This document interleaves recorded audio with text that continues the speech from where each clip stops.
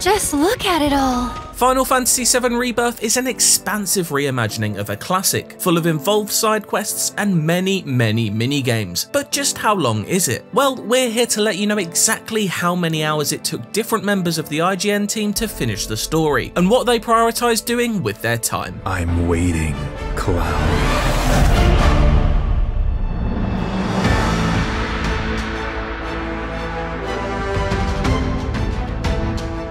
It took me just over 58 hours to reach the end of Final Fantasy VII Rebirth story. I made sure to explore each of the game's many regions along my journey, but by no means in a completionist manner, with only around a quarter of the side activities finished. This included all of Tifa's optional quests, as I knew exactly who I wanted to spend an evening with at the Gold Saucer, so built up that bond accordingly. Nothing could quite match the allure of Queen's Blood though, as I took every opportunity to sink time into the surprisingly deep card combat mini minigame whenever an opponent appeared. Not only is it a really fun deck builder, but also packs its own dark storyline that reveals itself the more you play. Overall, I felt like I hit a good balance between side and main activities on my playthrough, as the relationships I forged with each of Cloud's ever-growing party resulted in the story's big moments hitting even harder. I intend to go back to Junon, Cosmo Canyon and beyond soon, but only after giving my thumbs a few days rest from its fantastic yet frantic action.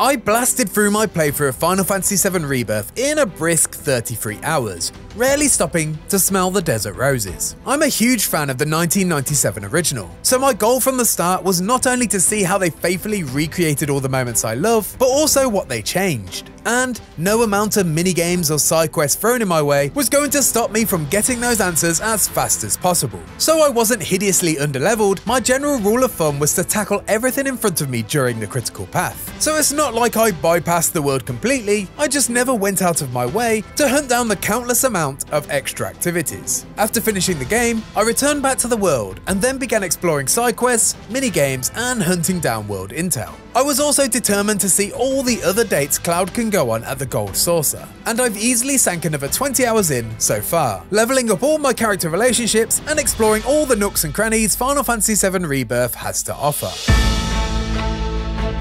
As a Final Fantasy VII obsessive, I didn't just stop and smell the roses. I admired them up close, from afar, and pondered how I could puree them into artisanal ice cream. By the time I rolled credits on Rebirth, I had poured 89 hours and 28 minutes into the game. I was systematic about the whole thing. I'd clear out all the side quests of each respective town, followed by 100%ing each region. But clearing out each region was actually only a side effect of wanting to track down all the optional monster hunts and proto relic side quests because those are the coolest things in the game apart from the whole story and all that. I also became obsessed with Queen's Blood, making sure to find and devour each and every player and challenge the game could throw at me. But despite my nearly 90 hours, I still didn't 100% the game. Later on in Rebirth, you unlock a collectibles museum that you can grind out minigames, and I'm assuming Chadley's battle simulator missions to help fill out. But no way was I gonna do that in playthrough 1. Maybe when I go back through on hard, but rest assured, I will be back for seconds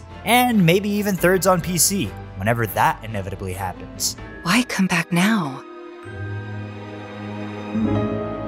After five years. My time with Final Fantasy VII Rebirth is a little unique in that I played it with the intention of guide creation, and thus spent a lot of time grinding the toughest summon bosses at their hardest difficulties for the sake of trying to understand and better explain their mechanics. As a result, I spent a total of 97 hours and 45 minutes on my playthrough. Like Nick, I was fairly systematic in 100%ing the world intel of each region, though there are still several odd jobs I need to go back and complete, and minigames that I've yet to complete at their hardest difficulties to claim their greatest rewards. I want to make it clear that this is a rarity for me. I almost never spend time trying to 100% regions in an open world game, but I found that it was uniquely compelling in Rebirth thanks to the way it smartly ties its world intel activities to both memorable experiences and worthwhile rewards. I wanted to find the life springs so I could fight that region's unique and challenging enemy, I wanted to complete all the combat challenges to unlock new battles in the combat simulator. I wanted to find the crystals to power up my summons. I wanted to find all the proto relics to see where its goofy story would ultimately end up.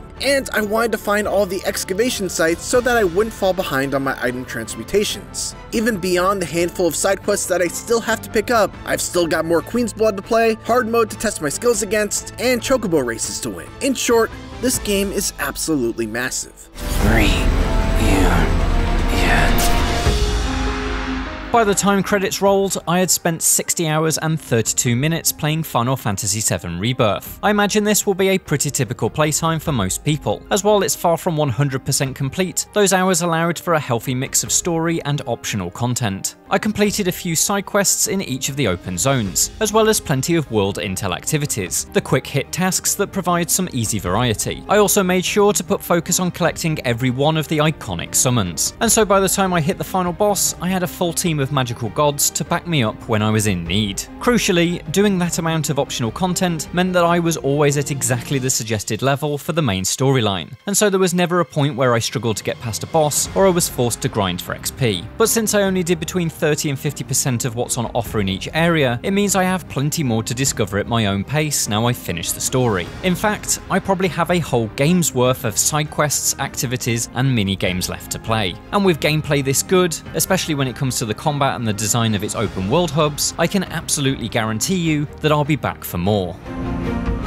For more from Rebirth, check out our review, and for everything else Final Fantasy, stick with IGN.